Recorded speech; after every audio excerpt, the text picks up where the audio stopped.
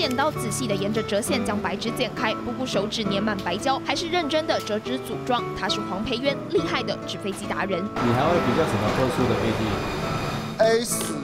就是那什么美国的那什么反坦克战斗机，民航机我也会。一举一动手法相当细腻。其实黄培渊患有妥瑞氏症，找工作时时常碰壁。不过靠着看书自学，折得一手好飞机。碰巧遇上好心的早餐店老板，让他在店外摆摊。细腻的手工堪比模型等级，一架却只卖二十元，一个小时就能折出四架，还有多达二十三种不同机型。以前至少要花一天，现在只要一小时就可以折出四架了。单看似平凡的纸飞机，其实背后有个感人故事。你要买什么礼物给妈妈？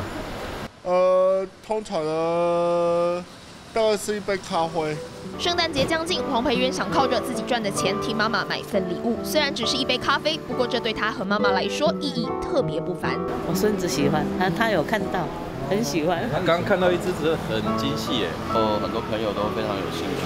不过他们有的住的比较远，然后所以他们就拜托我说。来这边看看，然后可以帮他们买一些回去。靠着网友们帮忙分享，现在纸飞机的销量也越来越好，就连订单都要排队。虽然这样，不过黄培渊却一点也不马虎，就是坚持给大家最好的纸飞机。这张春华、孙一欢，屏东报道。